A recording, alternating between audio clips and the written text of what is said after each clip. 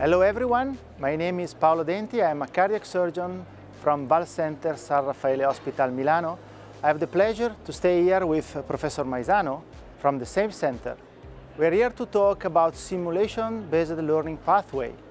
So Francesco, can you tell us about more about certification of structural intervention, about cooperation between PCR and academic institution? Yeah, Paul, this is something totally new. Uh, we have been uh, starting this process, and actually you part of this process together with me. We really work together in this uh, uh concept. It's a, a two-day full immersion certification program on specific skills. We started already last year with uh, transseptal puncture. Uh, we bring participants in. we have a real full immersion activity which is a mix of uh, lectures, uh, interactive uh, group meetings, and uh, simulation learning and, and training to understand all the secrets around this procedure, around this skill, specific skill.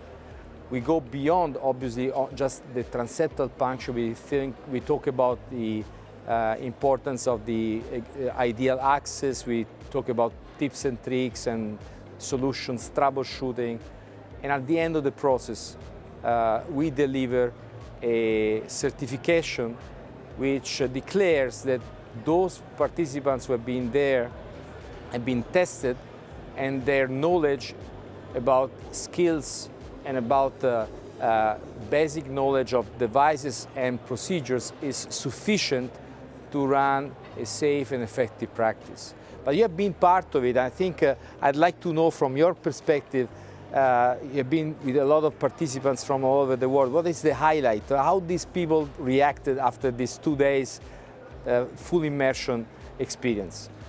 It, we use a different type of simulation. We use a software-based simulation and also dry simulation from different companies.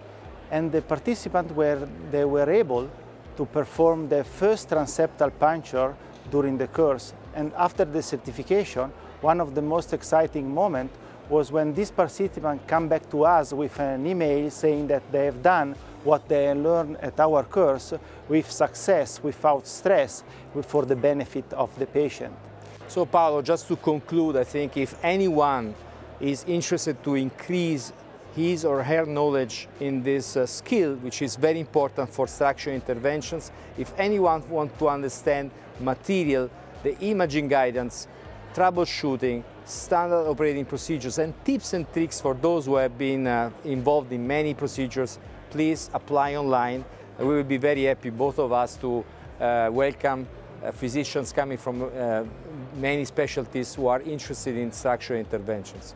So thank you very much for your attention. Thank you very much, Paolo, for this conversation. Thank you, Francesco.